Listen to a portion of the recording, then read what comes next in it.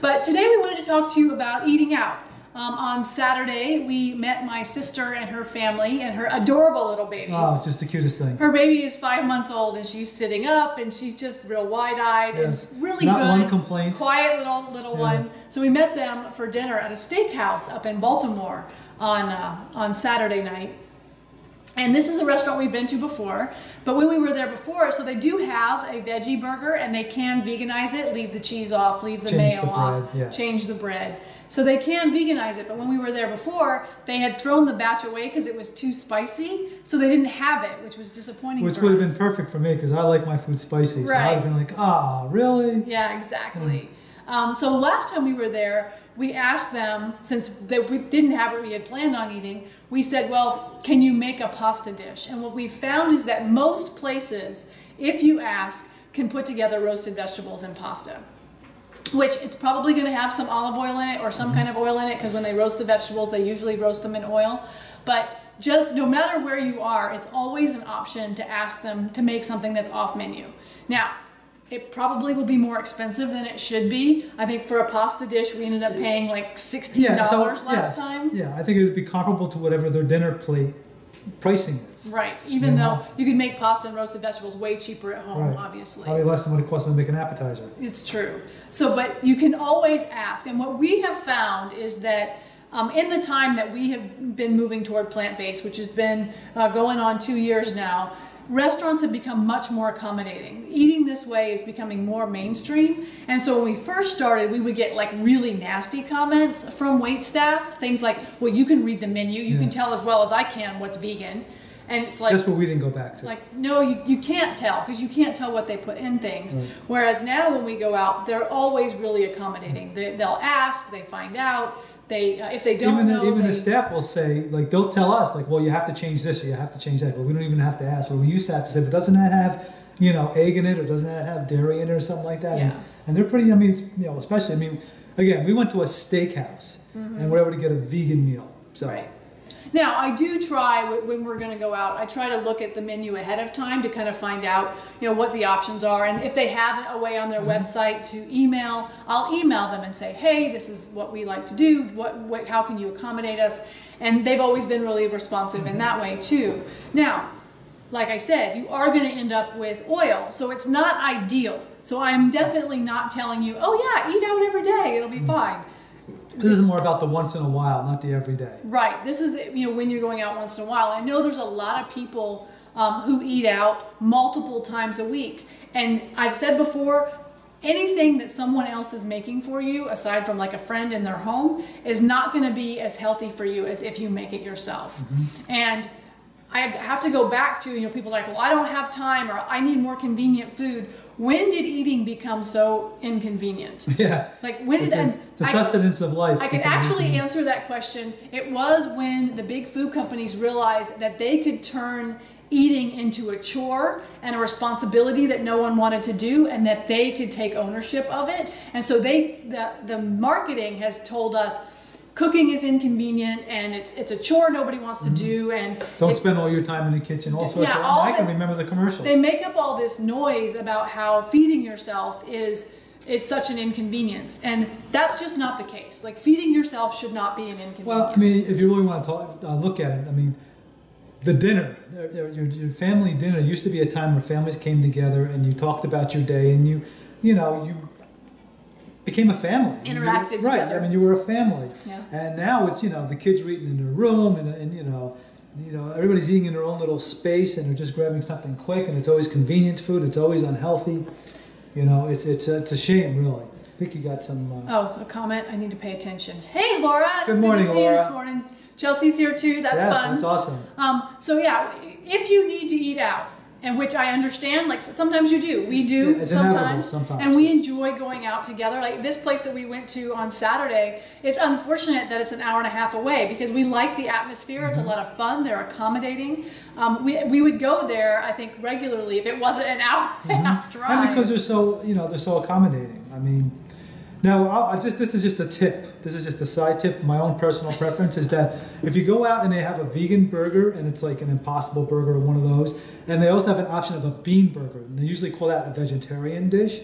Um, they can veganize that as well. And I have found, I don't know if you feel the same way, that that's a better tasting meal and it's much healthier for you than the, um, you know, Impossible Burgers or if you ever look at the ingredients of those, yes, they're vegan, no doubt, and yes, they're you know plant based, obviously. Right. But there's just so much ingredients in there. I mean, and you have found that she's actually allergic. There's something in them that bothers me. I don't know what's in there. Chelsea's making a good point. Since you can sit on the couch and watch people cook on the Food Network, or you can cook. Right, It's a good point. It's a very good point. Hey, Brandy, it's good to see Hey, you morning, this morning. Brandy. Yes, absolutely. Um, but definitely, I agree with you that if they have something, one of the um, mass marketed um, plant based burgers, Mm-hmm. like the Impossible Burger, but then they have one they make in house. Ask them if the one they make in house is vegan or can be Mm-hmm. veganized, because you're probably going to get a better uh, product Right. if you if you get one they make in house. yeah, and usually what, what they call it a vegetarian burger because they put cheese on it or, put, or they put mayo on it. So it's not the burger itself; it's- it's, it's the the, way they make it. Mhm. And so you can. That's pretty easy to, to veganize,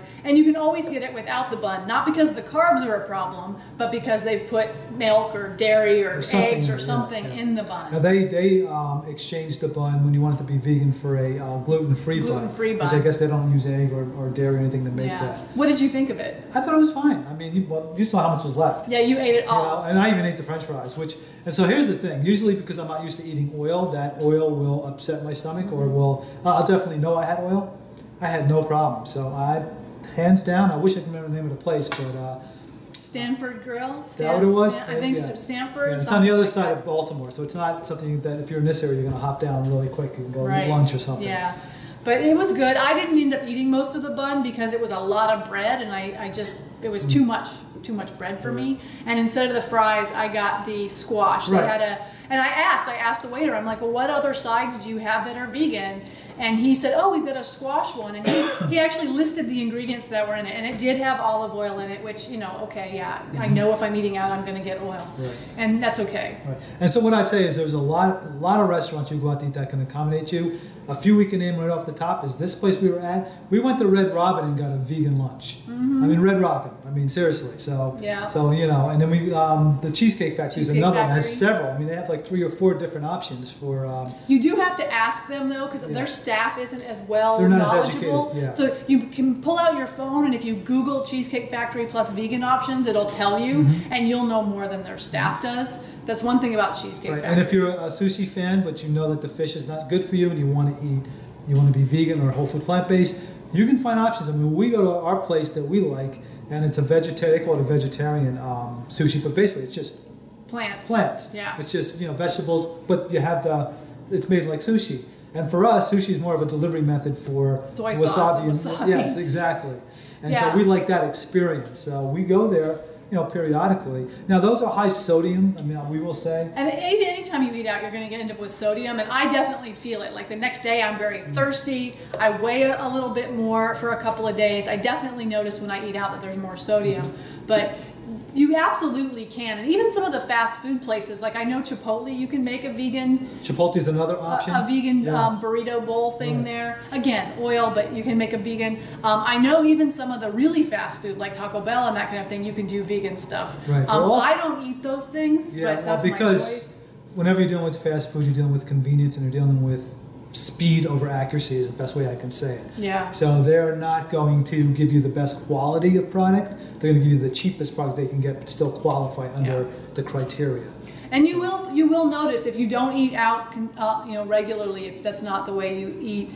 Um, typically, it will change the way your body behaves. Like I definitely know that my body um, acts a little bit differently. I'm a little more bloated. Um, my GI tract is a little slower. Like it's just it's different when I eat out than it is when I eat the foods we eat here at home. So that's something you have to be aware of if you're going to eat out. But it absolutely is possible. And you know, I, I hear a lot of people who are traveling for work and um, they're they're bringing stuff with them like you know oatmeal and, and things that they can eat in their hotel room. Now, if you're traveling internationally, don't bring food with No, you. they don't. will they frown, upon that. I, I, quick story: back when I was in my bodybuilding days and, and the professional bodybuilder I was a trainer for, we went to Europe and he packed like the pastas and all the stuff that he wanted to eat because this was a one month tour we were on.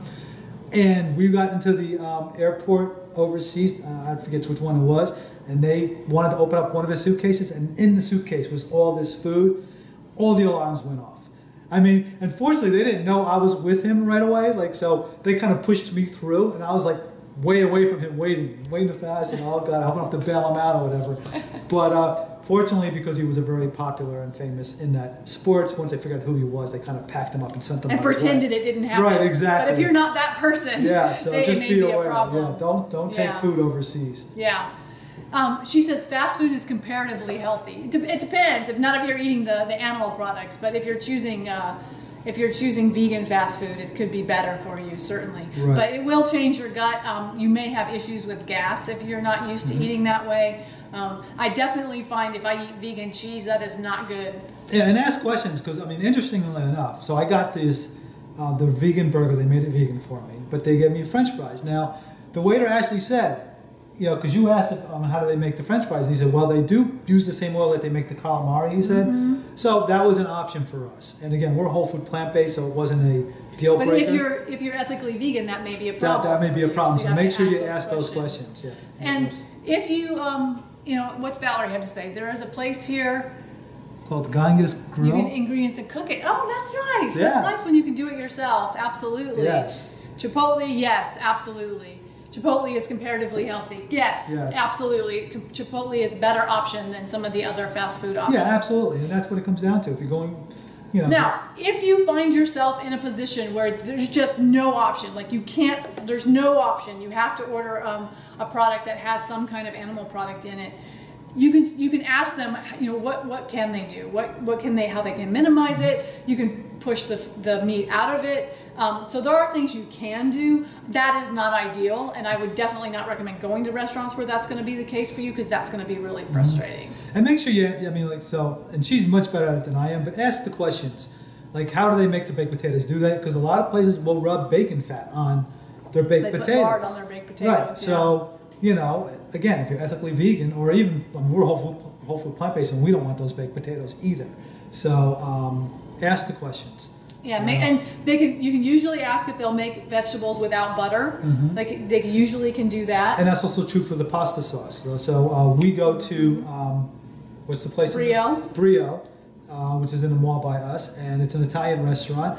And if you give um, Dr. Robin Odegaard's name, they will actually make you a dish that's the roasted vegetables, and they'll actually make a separate sauce because their normal sauce has butter in it. They usually put butter in their sauce. So that's a question. If you're getting pasta, make sure you ask if they put butter in their sauce because that's something they if you go to a lot of Brio, places do. give her name, You give my and name, they'll and they'll, of they'll you. pull it up, and, and it's actually a, a pretty good uh, a pretty good dish. I haven't had it in a while. We'll have to go there again. Yeah, soon. exactly. Yes. So um, your, your best option is always going to be to, to call ahead, check the website, you know, ask the questions, but choose the options that are as be- the best you can, and then of course don't eat out three or four times a week. And I, I was gonna say, and the other good news too is it's becoming less um, uncomfortable to be that person at the table because it's becoming more commonplace. So if you're a type of person that feels awkward and you're like, oh, everybody's gonna look at me, it's becoming more and more the standard where people are asking the questions. Like I said, these these waiters, the waiter that worked, um, you know, waited us,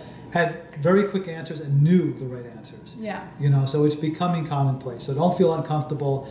They're kind of expecting it at this point. Yeah. So that was our experience of eating out on Saturday. It, w- it went really well. Um, we enjoyed it. We had a good time. Um, the food did not bother our stomach, what we were very happy about. Mm-hmm. And um, I'm not I'm not disappointed in, in what I got to eat. Exactly. So I think that's good. Yeah, and I just say that 2019, as I've been telling people, is the awakening that's going to happen in this country, and I think in a Western society about how eating more plants is the way to go for a long for It's good becoming health. more and more mainstream. It You know, really and, you, and you know how you know because if you look at some of these fast food restaurants, they're starting to come out with these accommodations because it, the trend is inevitable. So Mm-hmm. that's good news. Absolutely. So I think that's all I've got for them about Yes. eating out today. Or we could ramble on for another hour. We but I don't could, but we won't do that. Yes. Um, to you. Are you good now? I'm good now. all right.